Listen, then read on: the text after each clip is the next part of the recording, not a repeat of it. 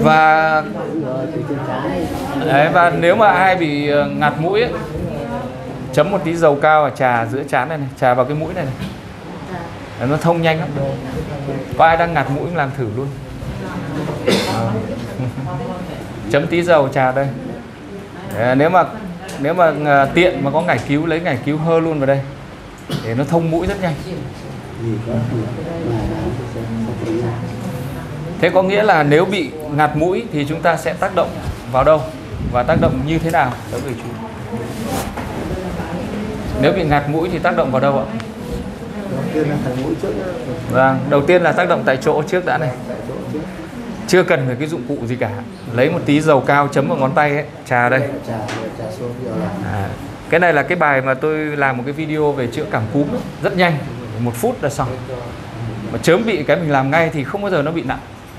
Đấy. chấm tí dầu cao trà nóng hai bên này. Đây là tác động tại chỗ này. Đúng chưa thế xong rồi sao nữa nếu tiện này vạch cái tóc ở đằng sau ra. Hơ ngải cứu vào đây. Hơ ngải cứu vào đây. À, đấy là trước sau. Và cái này là cái mũi phản chiếu. Phản chiếu trên trán.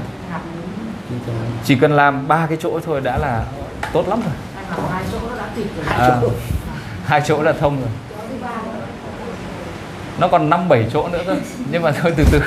Để học dần dần không có mọi người dối. Dạ.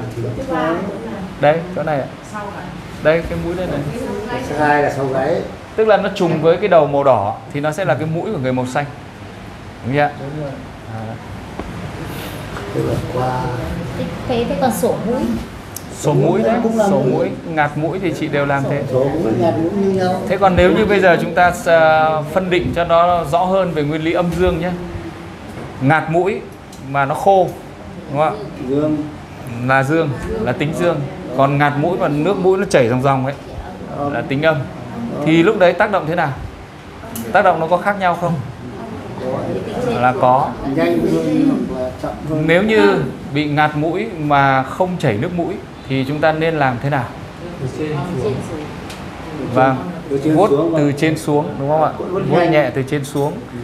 Đấy, và có thể dùng những cái dụng cụ mang tính âm ví dụ như cái lăn đinh. Cào. Đấy, lăn nhẹ. Mà lăn nhẹ nhé chứ lăn mạnh thì nó lại không phải. Đúng chưa? Lăn nhẹ thì nó mới là tính tính âm. Rồi có thể lăn trực tiếp hai bên mũi này. Đấy, lăn trên này lăn đằng sau hoặc là lấy cái tay cào nhẹ đằng sau gáy này này. Đấy một tí nó cũng thông mũi. Nếu mà bị ngạt trong trạng thái khô. Thế còn trạng thái mà nước mũi chảy ròng ròng thì nên làm gì ạ? Có thể đẩy lên đúng không ạ? Hoặc là gì ạ? Hơ ngải cứu vào. Hơ ngải cứu vào nhanh lắm. Nếu mà bị chảy nước mũi nha, nếu chảy nước mũi hơ ngải cứu nhanh lắm. Bây giờ ví dụ như một người bị đau đầu gối bên phải thì chúng ta sẽ tác động ở những chỗ nào? Tại chỗ này, lân cận này, trên trước sau này sau này, đối xứng này, đâu nữa trên dưới này, giao thoa này, đúng chưa?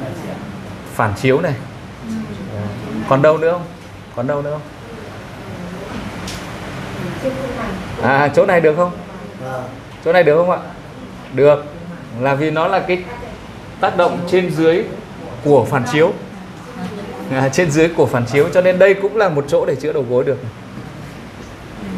Đấy, ví dụ có một người bị đau đầu gối mà người ta chưa có hiểu về những cái này mình chỉ cần hướng dẫn đơn giản. Hàng ngày bác massage vào cái đầu gối bên này massage đầu gối bên này massage cả phía đằng sau này. Véo vào đây véo vào đây đúng không ạ? Gõ vào đây. Một ngày ba lần người ta chưa biết hơn ngải cứu người ta chưa biết những cái kỹ thuật tác động chỉ cần dùng tay thôi. Đã đỡ rồi. Rồi làm gì nữa? Xoay cổ tay một ngày ba lần. Đấy.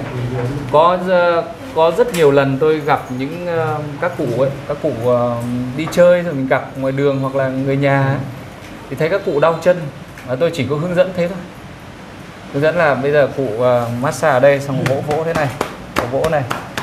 Đấy, xong rồi tác động bên này cũng thế véo vào đây cấu vào đây và cụ có đau không? Đau lắm giống như cô bên đấy là đau nhói lên cái.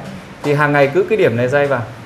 Đấy rồi lấy hai cái cái cái um, là cái đầu xương của ngón tay cái gõ vào đây. Gõ vào khoảng một phút chỗ này véo một phút. Massage đây hai ba phút ví dụ thế.